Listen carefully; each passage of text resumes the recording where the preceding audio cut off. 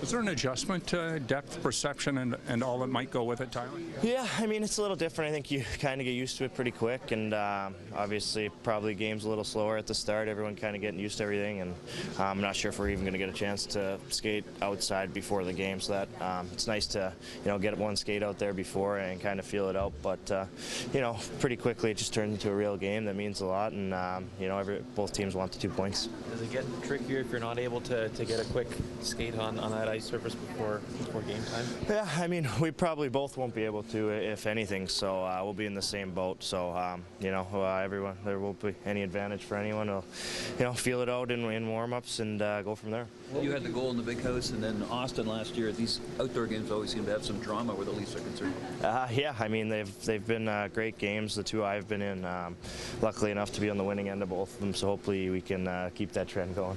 Tyler, that big house moment in the shootout rank for you in, in your career? Yeah, I mean it was a cool experience. Obviously one that uh, you know you'll never forget. I think just the amount of people that were at that game, and you know with the snow coming down, and uh, you know the atmosphere. Had a lot of family and friends there. So uh, yeah, it was a pretty cool cool moment. I'll remember. Tyler, what your your just initial thoughts seeing the rink, playing at this academy, um, just your your your thoughts on Yeah. how special it is? It's awesome. Um, the setup's great. Um, would have been nice to get out there and skate today, but uh, I don't think we would have been able to move too fast in those winds. But uh, yeah, it's just awesome to be here, and um, you know I'm excited to see the atmosphere tomorrow and, and enjoy the time. Anything, um, you know, the sights and sounds you're going to take in uh, apart from the hockey point of view?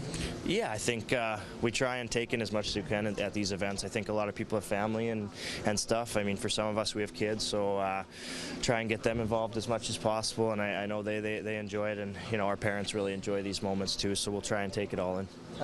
What, sort of challenge would it be? I don't think it's supposed to be quite as windy as today, but it's still going to be a bit windy. What's the biggest challenge playing in wind?